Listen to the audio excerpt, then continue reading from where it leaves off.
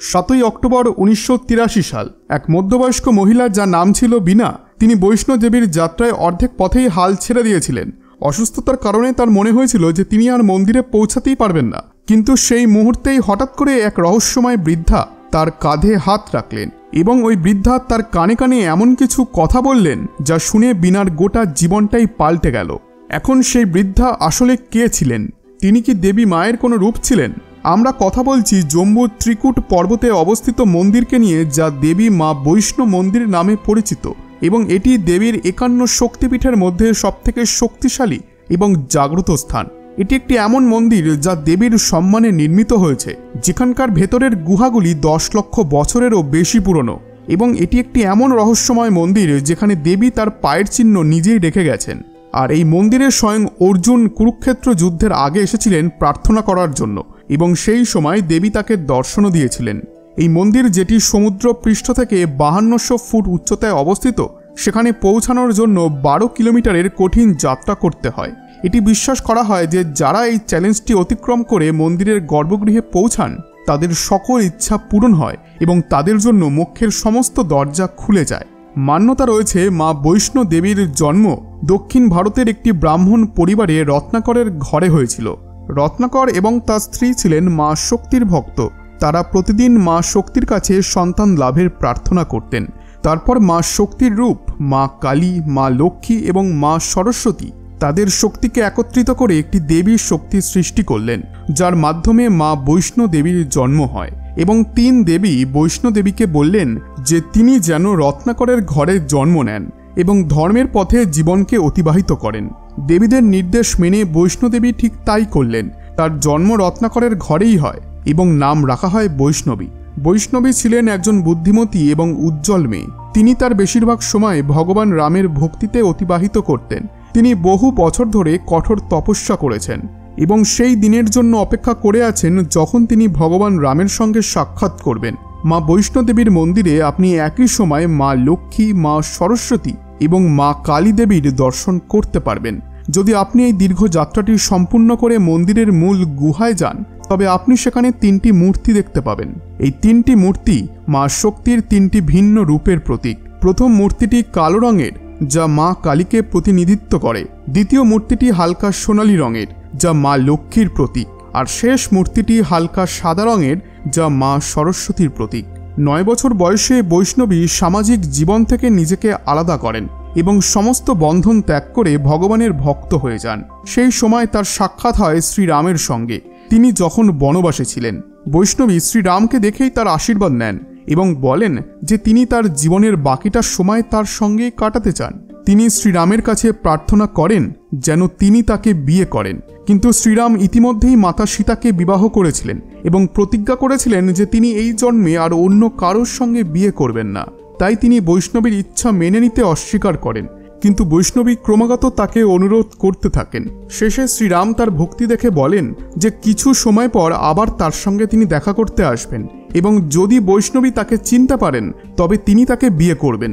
বৈষ্ণবী শ্রীরামের এই প্রস্তাব মেনে নেন এবং আবার তপস্যায় মগ্ন হন। এরপর অনেক সময় কেটে যায়, শ্রীরাম রাবণকে বধ করেন এবং ফেরার পথে তিনি একজন বৃদ্ধ সাধুর রূপে বৈষ্ণবীর সঙ্গে দেখা করেন। কিন্তু বৈষ্ণবী তাকে চিনতে পারেননি।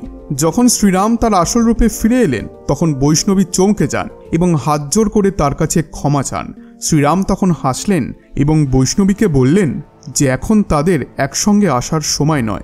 বৈষ্ণবীকে পৃথিবীতে থেকে ধর্মের রক্ষা করতে হবে। এবং অধর্মের বিনাশ করতে হবে। তিনি বললেন যে এক সময় এমন আসবে যখন শান্তি এবং ধর্ম শেষ হয়ে যাবে এবং কলিযুগে কলি নামে এক দৈত্য মানুষদের মধ্যে অহংকার ও গর্ব সৃষ্টি করবে। তখন ভগবান বিষ্ণু তার দশম এবং শেষ অবতার কলকি অবতার নেবেন এবং কলিকে বধ করে ধর্ম প্রতিষ্ঠা করবেন। আর সেই কলকি অবতারে তিনি মা বৈষ্ণো দেবীর সঙ্গে বিবাহ করবেন। বিশ্বাস করা হয় যে মা বৈষ্ণোদেবী এখনও কলকি অবতারের জন্য অপেক্ষা করছেন। শ্রীরামের সঙ্গে সাক্ষাতের পর বৈষ্ণবী ত্রিকুট পর্বতে চলে আসেন এবং সেখানে তপস্যা শুরু করেন। তিনি একটি আশ্রমও সেখানে প্রতিষ্ঠা করেন, যার মাধ্যমে তিনি মানুষকে সত্য এবং ধর্মের পথে চলার শিক্ষা দেন। শীঘ্রই মানুষ তার শক্তির ব্যাপারে সচেতন হয়ে ওঠে এবং তার আশ্রমে লোকজন আসতে শুরু করে। ধীরে ধীরে দূর দূর থেকে মানুষ এই আশ্রমের কথা বলা শুরু করে। এই খবর একজন মহান যোগী গোরক্ষনাথের কানেও পৌঁছায়। তিনি ভাবতে লাগলেন যে এই মহা তপস্বী কে, যিনি তার থেকেও বেশি জনপ্রিয় হচ্ছেন, এটি জানার জন্য তিনি তার শিষ্য ভৈরবনাথকে পাঠালেন। এরপর ভৈরবনাথ বৈষ্ণবীর ওপরে নজর রাখা শুরু করলেন এবং দেখলেন যে বৈষ্ণবী অন্যান্য তপস্বীদের চেয়ে অনেক বেশি শক্তিশালী এবং তেজস্বী। এই দেখে ভৈরবনাথ তার প্রতি আকৃষ্ট হয়ে পড়েন। একদিন যখন বৈষ্ণবী একা জঙ্গলে তপস্যা করছিলেন, তখন ভৈরবনাথ হঠাৎ করেই তার সামনে এসে উপস্থিত হন এবং বলেন যে তিনি তাকে বিয়ে করতে চান। বৈষ্ণবী তখন খুব ক্রুদ্ধ হন এবং ভৈরবনাথের প্রস্তাব প্রত্যাখ্যান করেন। কিন্তু ভৈরবনাথ এত সহজে হার মানতে রাজি ছিলেন না। তিনি বৈষ্ণবীর পিছু নিলেন এবং তার তপস্যায় বিঘ্ন ঘটাতে আরম্ভ করলেন। ভৈরবনাথের এই আচরণে বিরক্ত হয়ে বৈষ্ণবীর সিদ্ধান্ত নিলেন যে তিনি ত্রিকুট পর্বতের একটি গুহায় নিজেকে বন্দি করে তারপরেই তপস্যা করবেন। ভৈরবনাথ যেন গুহায় প্রবেশ করতে না পারে, তার জন্য মা বৈষ্ণবী হনুমানজির সাহায্য চাইলেন। এরপর হনুমানজি প্রকট হলেন এবং তিনি হনুমানজিকে বললেন যে, যতক্ষণ আমি গুহায় বসে তপস্যা করব, ততক্ষণ আপনি যেন গুহার দরজায় দাঁড়িয়ে থেকে গুহার রক্ষা করবেন, যাতে কেউ আমার এই তপস্যায় বিঘ্ন না ঘটাতে পারে। হনুমানজি মায়ের আদেশ মেনে গুহার রক্ষা করতে লাগলেন। কিন্তু ভৈরবনাথ এখানেও থামলেন না। তিনি গুহায় প্রবেশ করার চেষ্টাও করলেন, কিন্তু হনুমানজি তার বিশাল রূপ ধারণ করে তার পথ আটকে দিলেন।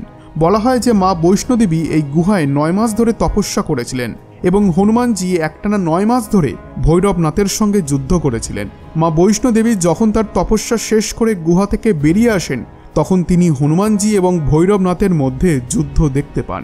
তার সামনে ভৈরবনাথ দাঁড়িয়ে হাসছিলেন, আর এই হাসি দেখে দেবীর ক্রোধ সীমা ছাড়িয়ে যায়। তার চোখ ক্রোধে লাল হয়ে যায় এবং তিনি তার কালী অবতারে ভৈরবনাথকে বললেন যে, তুমি জীবনে অনেক পাপ করেছ, আর এখন থেকে তুমি আর কাউকে বিরক্ত করতে পারবে না। এরপরেই কালী মায়ের রূপে থাকা দেবী ভৈরবনাথের মাথা তার দেহ থেকে বিচ্ছিন্ন করে তাকে বধ করেন। মায়ের আক্রমণে ভৈরবনাথের মাথা তার দেহ থেকে বিচ্ছিন্ন হয়ে গুহা থেকে কিছুটা দূরে পড়ে যায়। আর আজ সেই জায়গায় ভৈরবনাথের মন্দির অবস্থিত। এটি বিশ্বাস করা হয় যে দেবী ভৈরবনাথকে বধ করার সাথে সাথে তার আত্মা দেবীর সামনে উপস্থিত হয় এবং তিনি তার ভুলের জন্য ক্ষমাও চান। ভৈরবনাথের এই অবস্থা দেখে দেবীর ক্রোধ প্রশমিত হয় এবং দেবী তারপরেই তাকে মোক্ষের বর দেন। এছাড়াও দেবী তাকে এই বড় দেন যে যতক্ষণ তার ভক্তরা ভৈরবনাথের মন্দিরের দর্শন না করবেন, তাদের বৈষ্ণোদেবীর যাত্রা অসম্পূর্ণই থাকবে। বৈষ্ণোদেবীর যাত্রার মাঝখানে আপনি অর্ধকুয়ারি গুহাও দেখতে পাবেন। এটি সেই গুহা যেখানে মা বৈষ্ণোদেবী নয় মাস ধরে তপস্যা করেছিলেন। বলা হয় মা সেই অবস্থায় ছিলেন যেমন একটি শিশু তার মায়ের গর্ভে থাকে। এই গুহার অভ্যন্তরীণ অংশটি মহিলার গর্ভের মতো। এটি বিশ্বাস করা হয় যে যারা এই গুহায় যান, তারা পুনর্জন্মের চক্র থেকে মুক্ত হন। এবং মুখ্যের সমস্ত পথ তাদের জন্য খুলে যায়। প্রতিদিন হাজার হাজার মানুষ বৈষ্ণোদেবীর দর্শন করতে যান এবং নবরাত্রিতে প্রতিদিন চল্লিশ হাজারেরও বেশি মানুষ এখানে আসেন। একবার বিনা নামের এক মধ্যবয়স্ক মহিলা তার পরিবার নিয়ে এই মন্দিরে আসেন। কিন্তু এই মন্দিরের মূল গুহায় পৌঁছানোর সহজ কাজ ছিল না। এই যাত্রাটি বিনার জন্য আরও কঠিন ছিল, কারণ তিনি একটি রোগে ভুগছিলেন। তিনি পথের মধ্যে হাঁপাতে শুরু করলেন। তার শ্বাস ধীরে ধীরে ভারী হয়ে যাচ্ছিল। এবং তিনি তার হাল ছেড়ে দেওয়ার মতো অবস্থায় ছিলেন।